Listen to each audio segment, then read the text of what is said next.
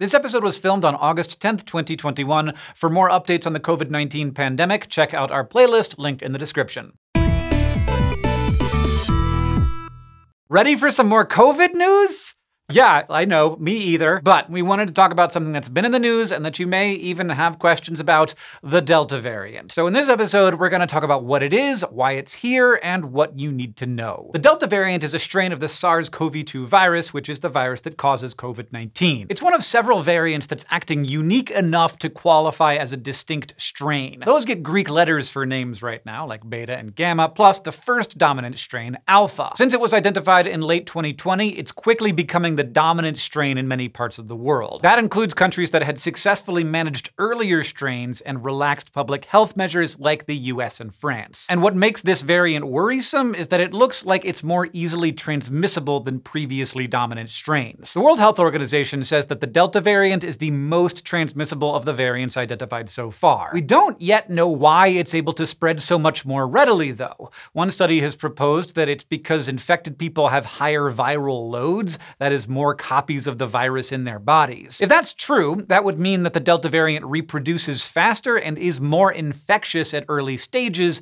than other dominant variants. This variant may also affect our bodies differently than previous dominant versions of the virus. The study I mentioned also suggested high viral loads may be related to a shorter incubation time, meaning infected people show symptoms faster. However, that paper has not yet been published or passed through peer review, so we'll need further confirmation. Other data indicate indicates that the Delta variant's symptoms might be slightly different, with headaches, fever, sore throat, and runny nose being common, while cough and loss of sense of smell aren't. It also comes with some new symptoms, including hearing loss. But are those infections more severe? Well, we're not sure yet. Some experts say that may be likely, and there are some reports that the Delta variant may be more likely to lead to severe illness compared to other strains. And a report from Scotland suggests hospitalization for unvaccinated individuals is twice as likely if the patient is infected with the Delta instead of the Alpha variant. It might be that the Delta variant is more dangerous, or that it's spreading faster through more vulnerable populations,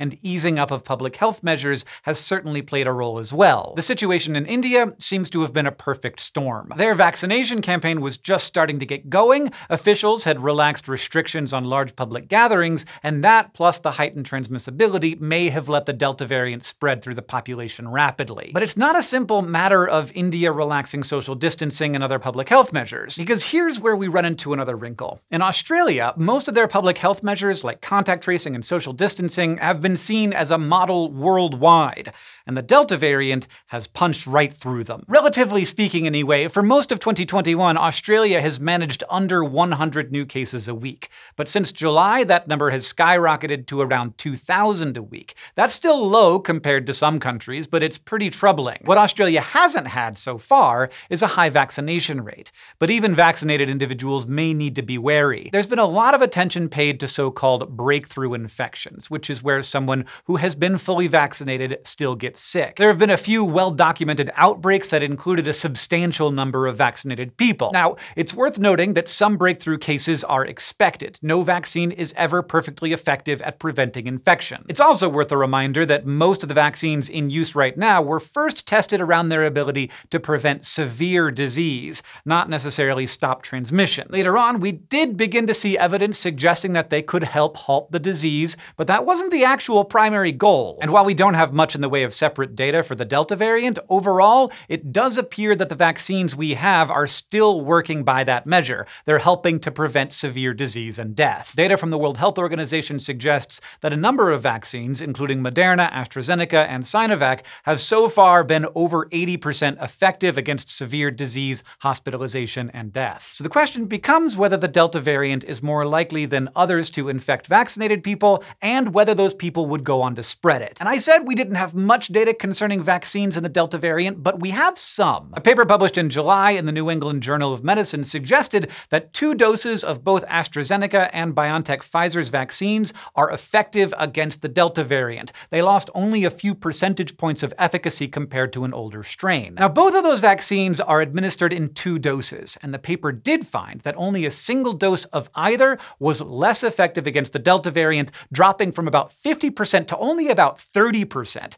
That seems to be the case for other variants as well. Altogether, it is possible for someone who is fully vaccinated to be infected with any variant. According to the CDC and some preprint data, people with breakthrough infections of the Delta variant may have a viral load just as high as someone who isn't vaccinated. And remember, the Delta variant viral load might be a lot. This has raised concerns about how much vaccinated people might still spread the infection, though it's worth noting that high viral load isn't necessarily an indication of heightened infectiousness. It could be that those viral particles are present in the body, but have been deactivated by the immune system, so they're not actually a problem. And as more people get vaccinated, the proportion of breakthrough cases to normal cases will rise because the proportion of vaccinated people to unvaccinated people will rise, and you can't have a breakthrough case unless you're vaccinated. That's what it is. So, what can we do? Well, we don't have a lot of concrete answers regarding the Delta variant. But remember that vaccines still seem to work. By work here, I mean that they help limit severe illness, hospitalization, and death, even if people do get sick. Some of the vaccine manufacturers are looking into booster shots, but many public health experts say they would rather focus on getting to people who haven't yet had an opportunity to get even a first dose. And this isn't just a question of logistics, but equity, as most of the available vaccines have gone to rich countries so far, leaving leaving many vulnerable populations waiting. And we still do have all the stuff we had at the start of the pandemic. I'm talking about your quarantining if you feel sick, you're washing your hands, all that good stuff. These will continue to be an important part of limiting spread as much as possible. We can see from Australia's example that social safety interventions like distancing aren't bulletproof, but vaccines, in the absence of those same measures, aren't enough either because breakthrough infections can happen and a lot of people remain unvaccinated. It's going to take a comprehensive strategy to stay ahead of this thing. Meanwhile, experts are keeping an eye on this and other variants, like Lambda, which also appears to be more infectious and possibly resistant to vaccines. So unfortunately, even though we all really, really would love to believe otherwise,